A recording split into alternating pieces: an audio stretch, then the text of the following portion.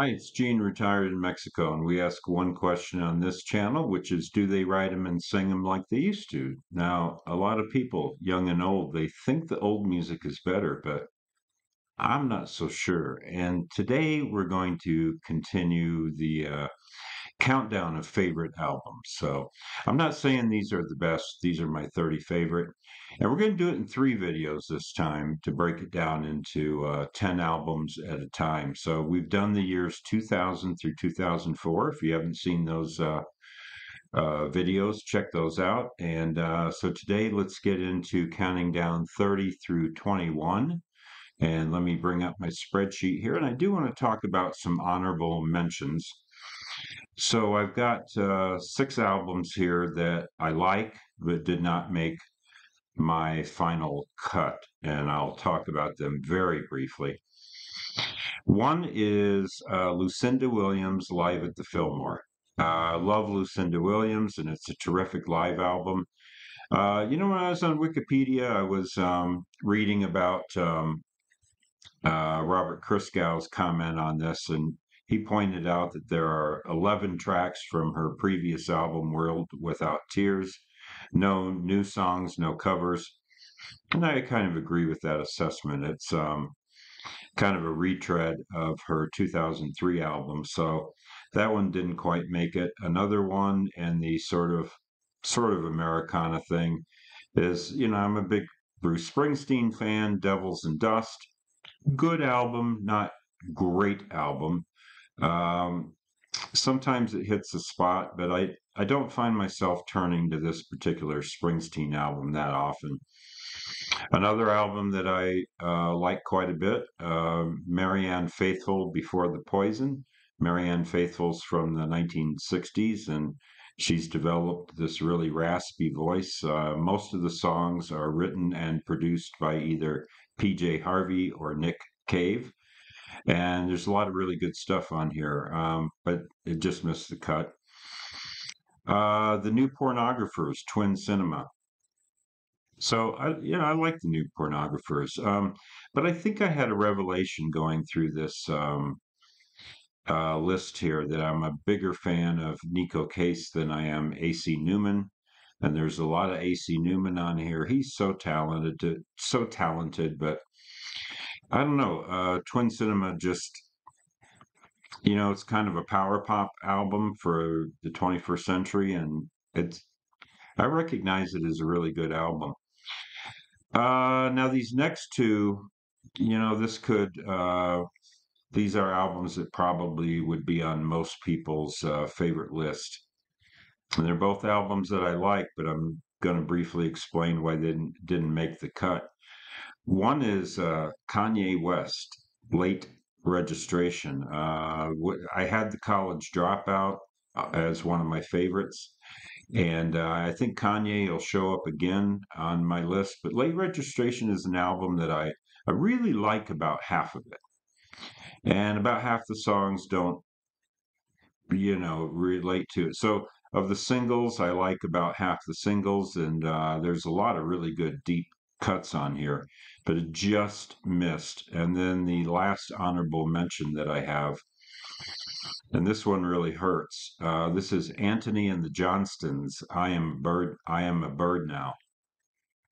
Every time I put this album on and I I hear the first track, "Hope There Is Someone," I just think, "Oh man, this is going to be a great album." His voice is so beautiful, and the piano's so beautiful. And then every time I listen to the album, it just, I don't know, it just seems to me like Antony has been um, writing the same song his whole career.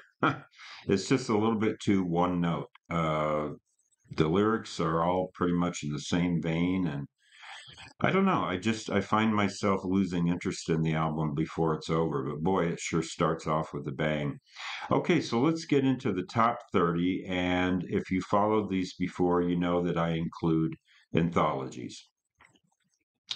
So I've got a lot of this is kind of a weird year. It's it's a heavily loaded year, but I've got some international albums on my list. I've got some live albums on my list, and my anthologies, which usually are way at the top. A lot of those anthologies are lower here. They're still you know, great, but there's uh, single standing albums that I love from this year that are that I just prefer. So coming in at number 30 is an anthology, and it's Natalie Merchant, retrospective 1995 to 2005. So this only covers 10 years of her career, which is, I believe, four albums. And there's an interesting bonus disc that you can get on Spotify that has a lot of her uh, miscellaneous stuff. Uh, real good. Um, but yeah, yeah, I, I loved Tiger Lily when it came out in the 90s. And then uh, this takes just three to four tracks from Ophelia and Motherland and her, you know, her first four albums. And I like Natalie Merchant quite a bit. Uh, yeah, classic 90s rock uh, going into up through the year 2005. And yeah, you know, I technically saw her once, kind of. Um, I went to see 10,000 Maniacs in concert, and she came on and did about three songs and then started crying and left the stage. And they came out and said, Sorry, her aunt died and she's too verklempt to perform and we didn't get our money back. So I was a little pissed off at her about that, but I've forgiven her over the years. So Natalie Merchant, um, yeah, I think just uh, a great singer songwriter from the 90s. Um, coming at number 29 is a prog rock reunion album. This is Van der Graaf Generator, one of the pioneering prog rock bands in the 60s, along with uh, King Crimson and Procol Harum and some of those other people. And they had not done an album and a studio album in over 25 years. They reformed in uh, and recorded this in 2004. It took over a year for the album to come out. They're from Manchester, England. I had the opportunity to see Peter Hammill in concert one time just by himself on keyboards and guitar, no band. It was a great show. Uh, I, I love this. Now, what holds this back a little bit is it's a double CD, and the second CD is all improvisations, uh, a lot of them instrumental, and it's a good disc, uh, but it does weigh it down a little bit. I prefer the first disc, and the two songs written by Hammill are, I think, the best songs, especially a song called Nutter Alert, N U T T E R. And nutter is anyone who's a little crazy in their in their thinking. And um, it's a vicious song. It's wonderful. Yeah, be on the lookout for nutters. I love it. So Van der Graaf Generator present. So I guess they just called it present because it was a reunion album. And uh, the band's in fine form. It's uh, the original lineup, and they all they've been through several different lineups, but they came together for this one. They reformed with original band members, and that includes the sax player, and it's it's it's really good. Uh, but it's not everyone's cup of tea because Peter Hammill's voice is not. It's not not everyone's favorite voice, but I'm a big fan of Van der Graaf. Um, but I guess I prefer some of their other albums, but this is still a, a strong entry. Coming in at number 28 is another anthology, and it's low on this list because it's imperfect. It's uh, I'm a big fan of early, early Robert Palmer. Uh, this is the very best of the island years, and this is my preferred period of Robert Palmer. Um, he then signed to another record label, and so this is just the first maybe eight albums. But it's got some omissions. They don't have Spanish Moon on here, which to me is a real cardinal sin that that song's not on there. And so uh, I actually put together my own The Very Best of the Island Years, and I swapped out about four or five tracks with other favorites of mine. But Oh, that early Robert Palmer, if you haven't heard it, uh, he was funky back in the days and playing with the band Little Feat and the Meters, and it's really good stuff. And uh, yeah, like I say, it's an imperfect anthology, so it's a little bit lower down on the list here, but I love the uh, 70s period of Robert Palmer before he got big and you know addicted to love and all that that those are good tracks. I enjoy those but i, I really have a sweet spot for his uh, discography before he became famous number 27 is a uh, international world album this is uh, amadou and mariam Dimanche à Bamako. So this is an album produced by Manu Chao, who is a French-Spanish um, artist with his own career and discography. Um, Amadou and Mariam are from the capital city of Mali in northern Africa, and Amadou is a really good guitar player. Uh, they are also sometimes nicknamed the blind couple of Mali because they met, uh, they actually met at a school for the blind when they were younger and fell in love and got married. And so they are, um, and they both had sight at birth. Um, I think one of them was measles, and I'm not sure what the other one was, but they both lost their sight when they were um, children or teens, and then they met at this blind school. And this is really um, killer stuff. I don't know that it's their uh, best album. Um, about three years later, they put out an album called Welcome to Mali. And we'll see how that fares when I get around to the 2008 list. But uh, yeah, there's some tasty, tasty um, guitar on here. If you're not familiar with music from Mali, Mali is considered the birthplace of the blues. And uh, these guys are great. Um, Manu Chao doesn't uh, ruin the album. He's got a couple touches on there that blend pretty well with them, but he he pretty much stays out of the way and just plays guitar and produces the album. Coming in number 26 is another anthology. I told you they're all kind of low on my list here, most of them. And I have to explain, and this is a hard one for me to pronounce. The album is called Booyah bouillabaisse, the best of fish. Bouillabaisse is a like an alphabet soup, and Fish is the uh, uh, original lead singer of the band Marillion. So I got another prog rock album in here. I do like certain prog rock.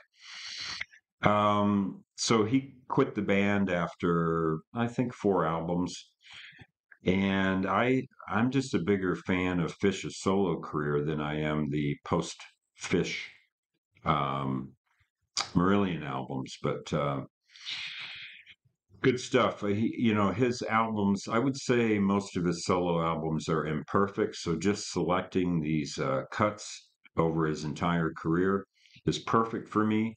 Uh, it's a double disc, so it's a lot of a lot of music. It's split into two discs. One is called the Balladeer disc, and the other the Rocketeer disc.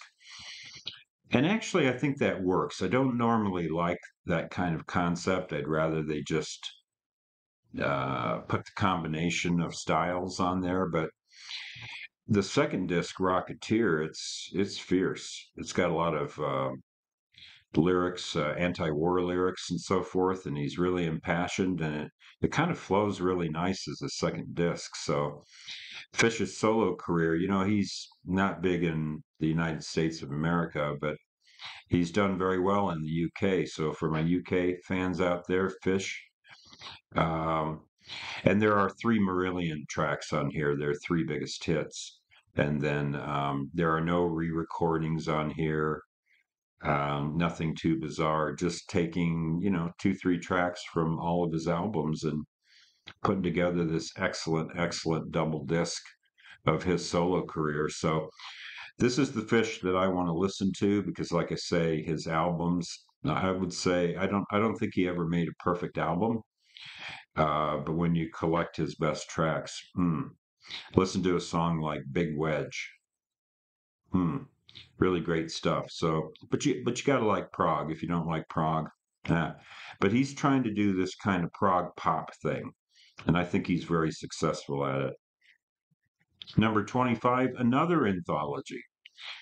And this is a band that was big when I was just a little kid, so I didn't know anything about them. It's the band Cream with Eric Clapton, Ginger Baker, and Jack Bruce. This is the double CD Gold. They put out a bunch of albums called Gold with different artists. This is really good. So they did an interesting thing on here. A lot of the Cream albums would contain live cuts. They would just mix studio and live on an album. And on here, what they do, oh, well, then, then when they broke up, they put out a couple live albums. And so, w- what the people who anthologized this CD did was they put all the studio stuff on disc one and they put all live stuff on disc two. And I think that works well. I think it's nice to either listen to the studio cuts or listen to the live cuts. So it breaks the albums up, makes for a more interesting listen. And, um, you know, I, I don't know if I'm a huge Cream fan, but there are days when I think Ginger Baker was the best drummer ever. Yep, I said it. Better than Neil Peart or Keith Moon or John Bonham. And like I say, there's days I feel that way, but Ginger Baker, if you've never seen the documentary Beware Mr. Baker, oh, that is interesting. Um, so Ginger Baker, rest in peace. Now Jack Bruce, rest in peace. So Eric Clapton's the only member of the band still alive, but this is a so really nice. Uh, I, I, you know, their albums were a little imperfect too. So an anthology is the way to go. Um, if I were to make a list of my favorite albums from the 60s, I probably wouldn't have any cream on there. So here we are in 2005 with an anthology that hits the spot for me. It's uh, uh, perfect. It's almost too long as a double disc, but a single disc wouldn't be enough. So, what are you going to do? All right, number 24. I'm glad to talk about this album because it's a direct result of this channel. I would not have this album on my list if it weren't for you guys recommending this band. But I'm going to go with the Japanese uh, band Boris. We did a reaction to them. I, I loved their performance. And their album, uh, Pink, they are a very prolific band. So I haven't had a chance to dive into that whole discography. I mean, it's nuts. They have like, I don't know, 20 albums or something. But this one, Pink, this one is interesting. Um, there's some Sabbathy stuff on here, and you know, I said this on another video one time, but back in the day, uh, when I grew up, you were either a Deep Purple or a Black Sabbath fan, and so I picked Deep Purple. That was the band that I preferred, and I never really got into Black Sabbath. I'm just not a big Black Sabbath fan, but I appreciate them and I totally get what they're all about.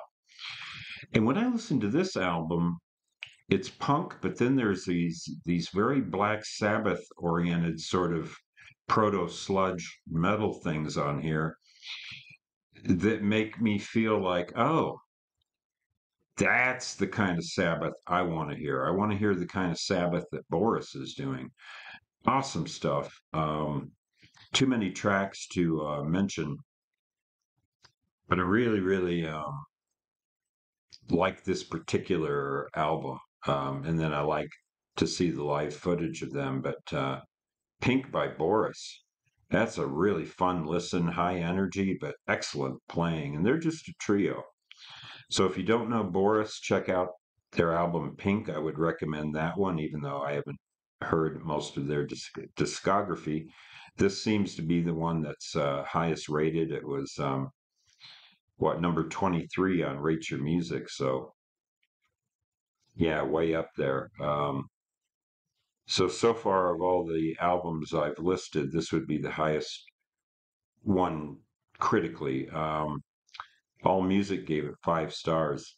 Pitchfork 8.7 i agree. It's a great great album number 23 a band that i like a lot uh, this album, um, not quite as strong as uh, their previous album, but I'm going with Doves, Some Cities. Um, I think this is a step down from their last album, but I still love the Doves. It's very enjoyable. Um, trying to think of the track names on there. I just played some of that album yesterday again. Uh, I don't know. They just have a certain sound uh, that I that I really enjoy. and I can still recommend this album. Some Cities, cool album cover. Uh, it, like I say, it's a little bit different direction for them, but it's still got um, those. Uh, man, I don't know how to describe it. It's not dream pop, but they've got a um, sort of an ambience about their music. Uh, but it's definitely rock and roll. So Doves, Some Cities. Coming in at number 22, an album I wasn't sure if it was going to make my list because it's so ADD and it's so all over the map. And it is it is a little bit long. It's hard for me to listen to all 70 plus minutes of it, but I'm going with the Mars Volta Francis the Mute. This is hands down their most interesting album. Uh, Deloused in the Com- Comatorium, probably their best album, but this one is so interesting. I mean, it is so all over the place. You got these real Queen slash darkness vibes, but then you've got these uh, ambient things going on. The first track ends with uh, children playing and traffic noises, and then you've got Latin on here and songs in Spanish, and you've got some jazz, you've got some horns almost reminds me of some of the horns that Radiohead has done that are very sort of erratic and fast paced. And I have to be in the mood for this album, but Francis the Mute, the Mute is, eh, oh, and the lyrics are just, they're intense. they're intense. They're almost a turn off. But you know, it's like, um, I don't know. Francis the Mute is like I don't know. It's just one of those things where it's like finding a dead animal on the side of the road or something, and you don't want to look, but you can't not look. Francis the Mute is just this album that, you know, I think, okay, that's too much. I can't handle it. And then I'm like, oh, let me listen to that one more time. I don't think there's an album like it. It's um it's it's whacked out. It's a crazy album. Um, you know, I will admit that I will listen to a lot of times I'll listen to half and then later I'll listen to the second half, the big suite at the end there. But um, this is an album I just can't not listen to. Coming in at number 21, an artist that usually scores a little higher for me. Um, uh, he's he's a real regular go-to. That's Beck and his album Guero. And I think this album is underrated. Uh, I I like it. I really like Guero. It's got a lot of really fun stuff on it. So uh, you know he he changes this sound up from album to album. So of course he leaves some fans in the dust uh, every time he does that. But I I keep up with him, and I always like everything he does. And Guero is a really strong album. You know, not everyone loved it. Let's see, Pitchfork here gave it a 6.6. Oh, by the way, on Francis the Mute, if you haven't seen this, Pitchfork gave Francis the Mute a 2 out of 10, 2.0. I read the article this week. Really interesting. You know, they're entitled to their opinion, but I think it's um anyway, back to Guero by Beck. Really well produced, well played, well sung, and it's a fun album that kind of falls between his serious material and his um, really tongue-in-cheek stuff. This is kind of in the in the middle. It's also got some uh, Latin stuff on it, some things in Spanish. So yeah, I love Guero. So um, as we go through, I might talk about some of the upcoming albums in a little more detail, talk about the tracks, but on this one, I wanted to uh, keep the video short and not get into too many of the song titles. So that's my favorite. I will um, post these at the end of the video, and I also um, always put together a Spotify playlist. So I will do that. I will um, if you're interested, you can go to Spotify, and each time I do one of these, I'll add another 10 albums, just highlights. I take about a third of every album um, because it would just 30 albums would be 30 hours of music. So I like to keep the playlist down to about 10 hours, and uh, I will put a link to that on my Wallbanger Reaction Spotify page. And thank you for joining me. And that's it. I've got coming up, I've got a couple really big omissions. You know, I'm sorry about that. A couple albums that I'm just not crazy about that are highly ranked. Uh, but stay tuned for uh, 20 through 1. And as we say here in Mexico, buen dia.